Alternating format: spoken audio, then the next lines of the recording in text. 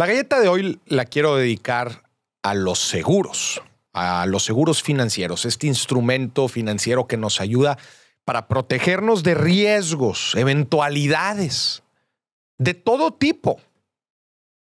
Desde el riesgo de adquirir una enfermedad, el riesgo de necesitar una operación médica, hasta el hecho de tener un percance con nuestro auto, en nuestro hogar, o hasta el hecho de perder a un eh, empleado importante dentro de un negocio. Sí, prácticamente puedes protegerte de todo en esta vida. O inclusive Lionel Messi, que tiene protegidas sus piernas. Todo se puede proteger si tienes el instrumento financiero adecuado para ello. Para eso entran los seguros. Y el día de hoy te quiero platicar uno de los conceptos que creo que es más importante entender al momento de adquirir un seguro, no importa de qué tipo, y es el hecho de que nosotros normalmente cotizamos un seguro con un agente, con una aseguradora, y nos ofrecen ciertas condiciones estándar, ¿no? ciertas coberturas, ¿no? que son estas eventualidades que nos cubren, ¿no? monto asegurado, que es esta cantidad por la cual estamos protegidos, o es el monto máximo que va a pagar una aseguradora por, por este siniestro, por este percance, nos presentan condiciones, algunas condiciones, y desde luego nos presentan la prima, que es el dinero que vamos a estar eh, pagando de forma mensual, trimestral o anual para tener justamente esta cobertura. Y después entran algunos conceptos importantes como el deducible, que es el monto que nos toca a nosotros pagar en caso de suscitarse o de querer una cobertura dado una eventualidad. Y otros conceptos también como el coaseguro, que es una responsabilidad compartida en donde la, aseguradora y tú se dividen porcentajes del pago de, de, una cobertura. ¿no? Pero el tema importante aquí es que nos cuando nosotros solicitamos un seguro, nos presentan ciertas condiciones, otra vez coberturas, primas, coaseguros deducibles. No nos damos cuenta que en realidad mucho de esto se puede modificar. Sí, nosotros podemos modificar qué tanto queremos pagar deducible, nosotros podemos modificar qué tanto queremos de coaseguro y desde luego que podemos modificar las coberturas y los, y los montos, los límites de, de, dinero que nos cubre. Todo esto es personalizable. Y como te podrás imaginar, eh, el modificar cada uno de estos conceptos le aumenta o le reduce el riesgo al producto y por consecuencia a la aseguradora. ¿Y dónde se ve reflejada la modificación? Se ve reflejado directamente en la prima que estamos pagando, en el monto que vamos a estar pagando recurrentemente por tener esa cobertura.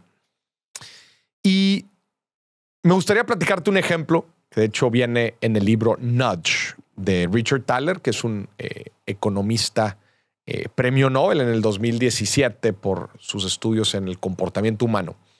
Justamente en este libro platica un, tema muy debatido, que es el hecho de cuánto deducible deberíamos de, incurrir, ¿no? Si, si es mejor tener un deducible alto, es mejor tener un deducible bajo y cómo esto tiene un impacto en la prima. Y muchas personas cuando ven el deducible, el monto que tienes que pagar si, es que se lleva a presentar algún siniestro, alguna eventualidad, el monto que tenemos que pagar, la gente se asusta y, no quiere pagar cantidades altas y dice, ¿sabes qué? No, no, no, redúceme eh, el, deducible. No me gustaría tener que pagar una buena cantidad de dinero en caso de necesitar una emergencia, una operación, lo que sea. Y desde luego que un deducible más bajo tiene un impacto en la prima y la prima suele subir en caso de querer un deducible bajo. La estrategia financiera que plantea justamente Thaler en, en este libro es pedir un deducible más alto. Es decir, comprometernos y responsabilizarnos a pagar un monto más alto en caso de que resulte que necesitemos una cobertura. Pero esto va a traer que la prima o la mensualidad o, el pago por tener, por tener válida la póliza, por, por hacer el contrato del seguro, va a bajar. Y el fundamento es un fundamento financiero, ¿no?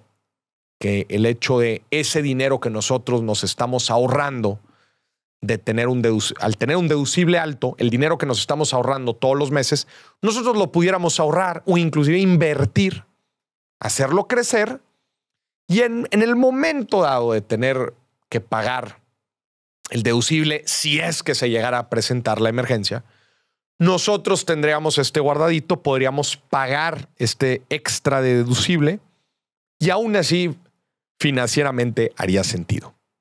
La razón por la que te platico este ejemplo, otra vez, el hecho de que un deducible mayor es mejor al momento de contratar un seguro por el hecho de que pagamos una prima menor y nos podemos ahorrar un dinero. El hecho de platicarte este es también ejemplificarte eh, la personalización que podemos tener al contratar un seguro y lo importante que es que nos metamos al detalle. Al detalle en coberturas, en que elimines las coberturas que sepas que no vas a necesitar, en que seas muy detalloso al momento de, de definir el deducible, el coaseguro y analizar muy bien los montos que te va a estar cubriendo el seguro. Este es un llamado para que revisemos muy bien a detalle una póliza un contrato. Porque otra vez, una decisión de la decisión de contratar un seguro es una decisión que va a tener implicaciones financieras para el largo plazo. Es un instrumento financiero que nos protege y es un instrumento financiero que no, no es gratis. Hay que pagarlo. Hay seguros baratos, hay seguros caros, pero al final de cuentas es un compromiso financiero que vale la pena poner doble clic para asegurarnos de estar tomando la mejor decisión.